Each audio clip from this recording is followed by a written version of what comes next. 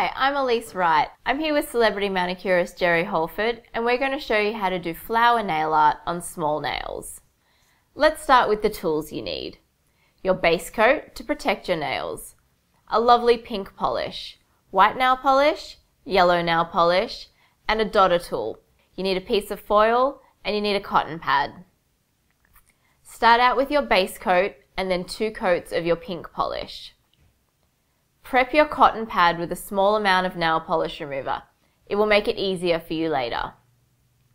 Put a drop of white polish on your foil and grab your dotter tool.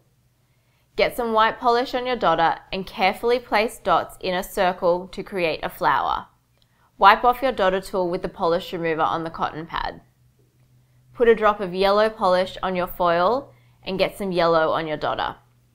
Place a dot of yellow in the middle of your white petals to finish your flower off.